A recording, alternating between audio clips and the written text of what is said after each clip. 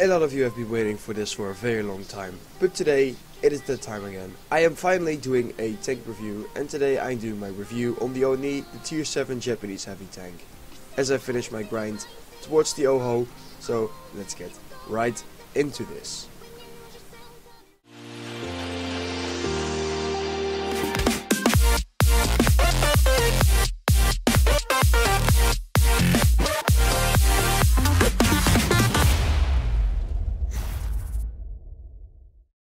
Greetings guys, it is Thocraft. Today I'm doing my review on the Oni, so let's get right into this. First of all, I'll be telling you guys everything about the mobility of this tank. After that we'll take a look at its gun statistics. After the gun, it is time for the overall armor of this tank. We'll take a look at his armor model to find his weaknesses and his strong points. And after we've covered those three statistics, I will show you two parts of replays, one bottom tier game and one top tier game. And in those replays I will tell you exactly how the Oni needs to be played and how you can know where to go on the battlefield.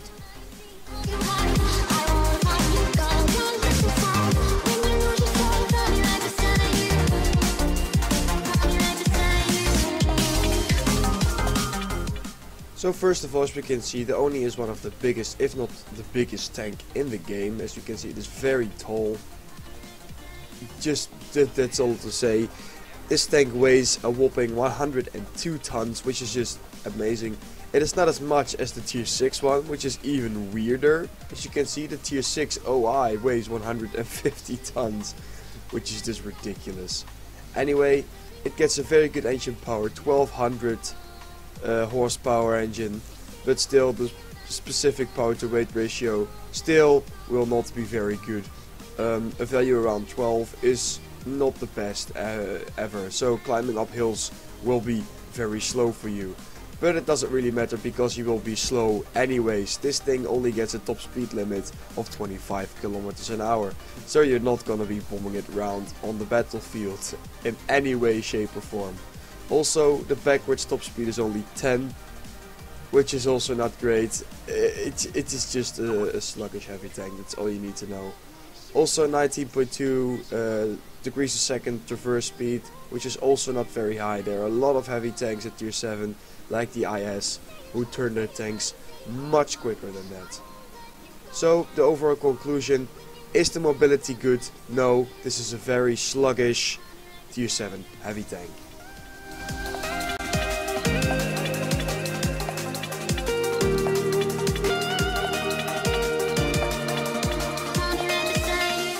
So let's now take a look at the gun of the Oni. There's a lot of discussion if you should use the 100, uh, I think it's a 105 millimeter, or if the, the derp gun, the 15 centimeter gun.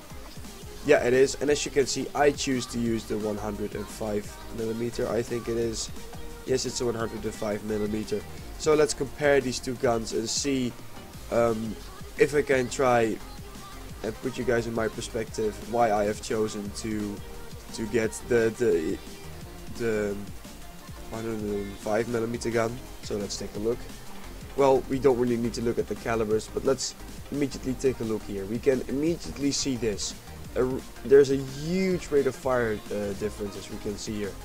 The 105 millimeter fires 5 shells a minute, and this gun only fires 2.6 rounds a minute, which is just atrocious. That is the that is a horrible rate of fire. But as it is a derp gun, you don't really need to aim at weak spots of enemy tanks, especially if you shoot HE with 75mm of penetration and you will splash 910 average damage on your enemy tanks. Um, if you calculate the DPM of this gun, you will end up with a very high number, but uh, that is of course not the real number, as this gun almost never penetrates its target. You will only do 200 to 300, sometimes 400 damage when you splash your enemy, so you will reload in roughly 15 seconds or so. And if you reload in that time, only doing 400 damage will end you up with a very bad DPM. So that's one of the points that I really don't like about the derp gun, especially at tier 7. Keep that in mind, only at tier 7. As we can see, the 105mm gets a alright penetration for its tier, 190mm. There are a lot of tanks at tier 7, heavy tanks, that have got a better penetration but still 190 is not um, the amount for which you would say that it's not usable. It's a very well usable uh, penetration. Also the 330 alpha damage is really nice. This is more than a lot of the tier 7 heavy tanks. Um, of course not the IS with the 390, but the IS uh, tanks don't get the 190 millimeters of penetration. And now we end up with two things that are really bad about the gun. The accuracy 0.42 is just atrocious, and the aim time of 3.3 is also atrocious. But if we take a look at the 150 uh, millimeter, these stats are even worse. 0.56 accuracy, which is just it is just atrocious. Even though it doesn't really matter, you you don't really have to aim at at weak spots of enemy tanks. Still, if you have to snipe with a derp gun, there is a very big chance that the shot will just miss. Also a very bad aim time of 3.5 seconds. This being said though, I don't like the derp gun on the Oni because of these reasons. I'd rather have a little bit more DPM uh, and a, yeah, a pretty much a guaranteed penetration. That is that's where I go for. If you're the guy that says no, I want to have um, almost a certainty of doing damage with every shot, then of course you should mount the 150 millimeter. But I think it is just not worth it uh, to lose that many gun statistics at tier 7.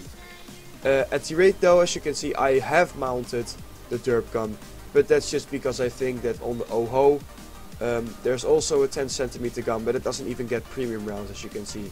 And the statistics of the 105 on the OHO and on the ONI are very comparable. But um, on the ONI I would not really recommend the derp gun. But if you're not a very experienced player and you don't know about the weak spots of tanks, of course the derp gun will be a very good choice of yours. And of course with good crew skills and equipment, all the accuracy and the aim time will go down to 2.8 and 3.9 as you can see right here. Also thing that is really good about this tank is its gun depression. You get 10 degrees of gun depression. But as you can see you do need this because this tank is so tall almost any other tank could just park next to you and uh, you will still not be able to hit them even though you've got 10 degrees of gun depression. Luckily I've never had this to happen though um, but still, it is very important that this tank gets 10 degrees of gun depression. Let me see. Even um, if a Skoda T40 for instance goes stands next to you. Let's see how big this tank is. See, um, it is it is very probable that that the, the the Oni will not even be able to hit the Skoda if it's standing next to it. So that's why it's that important that this thing gets 10 degrees of gun depression. I quickly came to the tanks.gg website just to check if the gun depression of the Oni is 10 degrees all around the tank and as we can see only at the front because of the little gun turrets on the front of the Oni uh, the gun depression decreases to only 9 degrees but still 9 degrees of gun depression is a very good amount but just keep that in mind if there's a tank in front of you you've got 1 degree less gun depression over the front of the tank. So this brings us up to the conclusion about the gun. Is this a good gun for a tier 7 heavy tank. Um, no, it is not really in my opinion. I don't really like these really inaccurate guns. Um, it is a gun that is of course really well capable of having good results because this alpha damage is really good for its tier. But just because of these statistics um, and the rate of fire is also not great, I'm not going to say that this is a really good gun. Um, this is this is a gun that sometimes behaves really weirdly on the battlefield. Anyway, that being said though, let's now take a look at its armor and really uh, look into what makes the Oni so special. Hello, you people know a lot about trucks.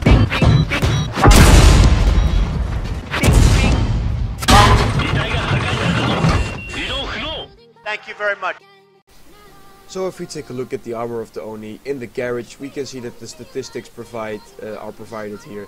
This thing gets a lot of hit points, which is really nice, 1550, which is more than the Tiger, of course, which is really nice. You do really need those hit points, because the armor is of course not impenetrable, but we'll come back to that later.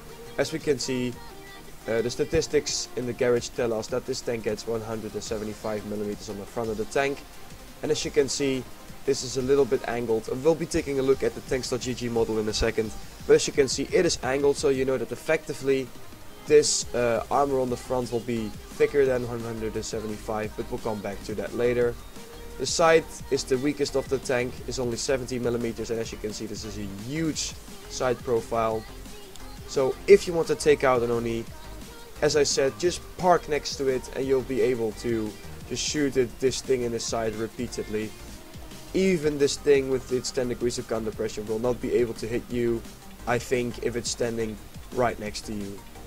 That being said though, uh, a thing that makes these Japanese heavy tanks really good as well is the rear armor. This thing gets 150 millimeters as well.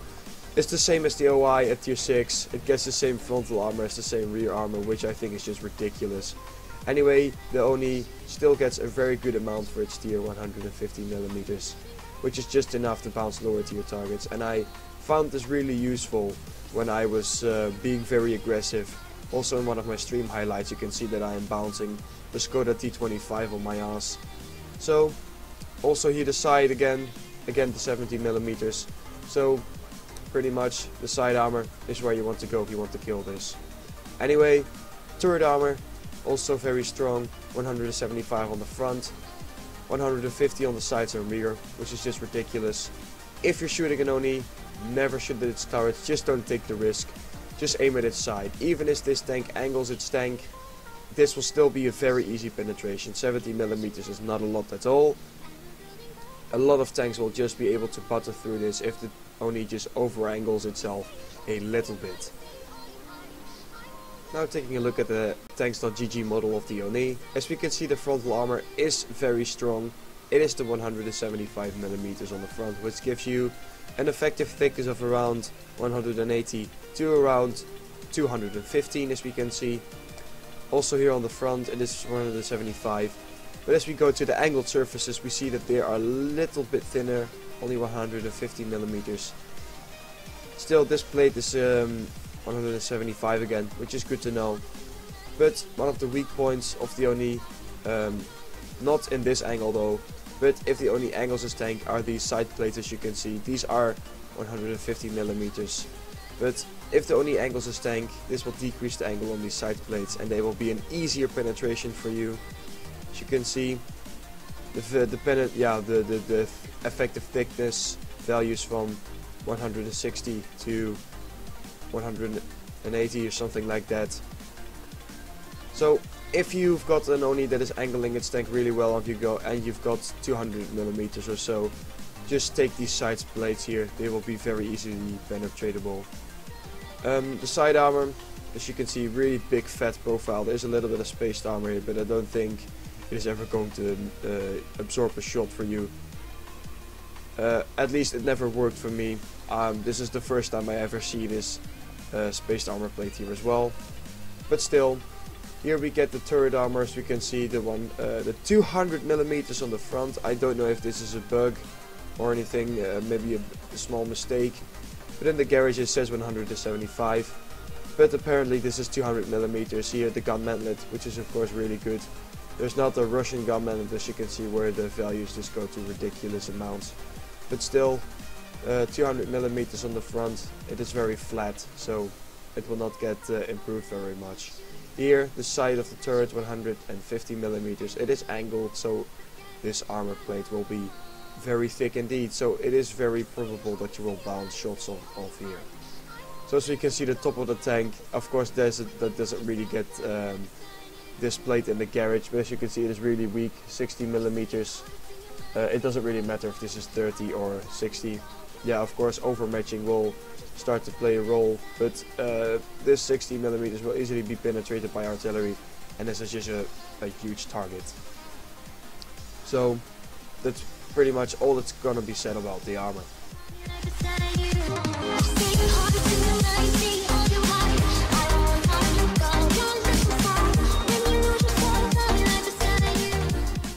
So guys, this is the first game I'm going to show you in the Oni. Of course, this is uh, probably the ideal situation for this tank. We are a top tier heavy tank and as we can see there are a lot of tier 6s on the enemy team and not a lot of tier 7s. So how do you want to play the Oni? First of all you can see the mobility is bad, the gun is very inaccurate and bad. Uh, the only thing that is good about this tank is the armor.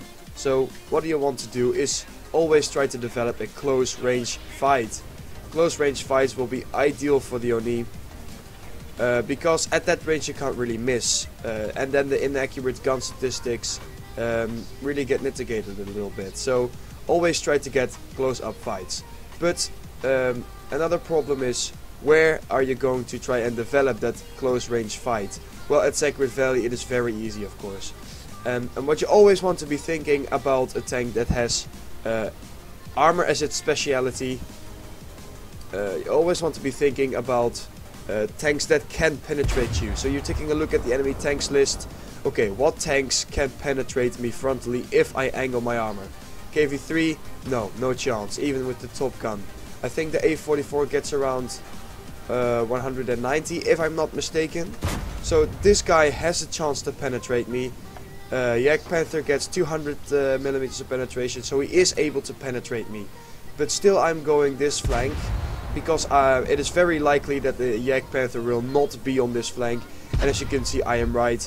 Also, the A44 is on this side of the map. So there is pretty much no chance that any enemy tank will be able to penetrate me in this situation. That's what that's the thinking process that you want to have every game you play in the Oni you, when you are in a top tier matchup. I will also show a bottom tier game to show you what uh, what you need to be thinking right there. But right now let's take a look at how the Oni um, takes on this KV-3. Also there's a box tank, still you will not be able to penetrate me. Bit unlucky there, but I just should have uh, aimed it in uh, first person mode just to be safe. But as you can see, I, I'm not I'm not afraid of these enemy tanks at all. I know that the box tank will not be able to penetrate me anyway. The KV-3 panics a shot, not that that matters really. But um, I'm just going to start putting shots into the upper plate of this guy. And as this tank is so tall, uh, there's just absolutely no problem for me. And now the KV-3 gets a really lucky shot off. Let's quickly take a look at that. We saw at tanks.gg that this is 150 millimeters, and as he was shooting at me in an angle, this meant that this was uh, very close to 150 millimeters. He might have also high rolled with his penetration, but he managed to penetrate me. So that's one of the only points that the KV-3 managed to penetrate me. But if I were that KV-3, I would never, um, yeah, try and aim at that spot every time I would I would try to hit the Oni. If I was that KV-3, I would just try to flank this tank, because that's just how to take down this tank. But still, the KV-3 is flanked by my team and by me, and will be able to take him down. So now there's just these tier 5 tanks and I'm not afraid of these at all. Not even a little bit. Just put a clean shot through the OI experimental. That is probably the most dangerous tank at the moment. He's got the most penetration. He will never be able to penetrate my front though. But I'm still going to take him out because he's just a little fat snack for me. Also this KV-1, he's got the derp gun so he will be able to do damage to me anyway. If he manages to take a shot off and of course I leave him on 8 hit points. But I'm going to ram him now to save myself a shot. He doesn't even get a shot off luckily. So as we can see, we only lost health to that KV-3 because of the, yeah, well aimed shot I guess. So there's this Cromwell here now. He is not playing the Cromwell like he should. But that doesn't matter for me because I'll just be able to put a shot in here. So now the close range fight is pretty much over and we're going to see a little bit of what longer range engagements here. Sometimes the shots just go perfectly where you aim them. Um, like that shot on the SU-100, but aiming at weak, at weak spots you can pretty much forget that with the Oni at range. Did you see how, how much that shell deviated from my from my aim there? That was just ridiculous. Anyway, I know that neither of these tanks can penetrate me, so I'm just going to take the damaging shots first to just let them uh, uh, hit me a little bit more, if you know what I mean. Just to get some greedy damage blocked, because I'll just be able to here. And unfortunately somebody else manages to take down the yeah the VK before I can. So I don't think I'll be able to get any more damage out of this game. So I hope you guys understood how you should play the Oni. This is a very um, tank that yeah that, that that depends a lot on the enemy team and on the map that it plays on. So let's now take a look at a bottom tier game and see what you need to do there to try and have the best result. So as we can see guys, we are now on a bottom tier game. This is one of the games I played at my live stream and as you can see, uh, not very happy about this matchmaking because as we can see a lot of um, tier 8 and 9 heavy tanks and tanks on the enemy team. What am I saying? I don't even know. doesn't matter. So how do you start playing a, bottom tier game in the Oni? Well, you start with the same principle. You look at the enemy team list and you, and you look to see what tanks are going to be able to penetrate me. Well, as we can see, a lot of the enemy team, pretty much 75% or even more, will be able to penetrate the Oni. Because, yeah, effectively 200 millimeters of armor, uh, and a lot of enemy tanks have got um, even 295 millimeters of penetration if the T30 is using the the 155 millimeter gun. But I will just always think about the worst uh, in this tank. So as you can see, I'm spotted already, and I'm just getting shot at. But still, um, where are they likely to go? That's the that's the third step you want to you want to do. Yeah, you don't really know on this map because you don't really know what tanks spawn here. But how do you want to play in a bottom tier game? As uh, sometimes more than 80% of the tanks can just easily penetrate you and your armor counts for nothing. You pretty much want to be taking opportunistic shots all the time whenever you can. That's just how to play the Oni in bottom tier games.